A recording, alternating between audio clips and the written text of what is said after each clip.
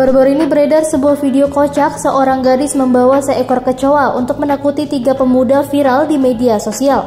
Video yang diunggah oleh akun Instagram @memekamfred pada Selasa 2 Agustus 2022.